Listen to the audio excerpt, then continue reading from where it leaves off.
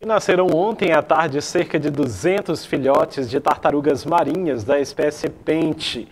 Essa ação foi anunciada pelo Instituto do Delta do Parnaíba, que acompanha cerca de 54 ninhos de tartarugas marinhas no litoral piauiense.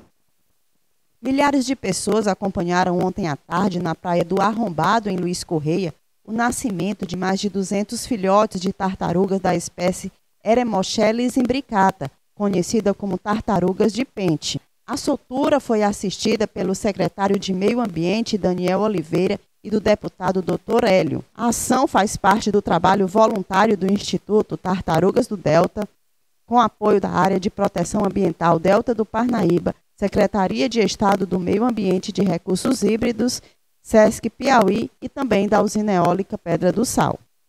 No litoral brasileiro, a desova das tartarugas acontece entre os meses de setembro e março, com variação de cinco espécies que vivem no Brasil: tartarugas de pente, tartaruga oliva, tartaruga de couro ou gigante, tartaruga verde tartaruga cabeçuda. Atualmente, o Instituto Tartarugas do Delta monitora no litoral cerca de 54 ninhos de tartarugas marinhas.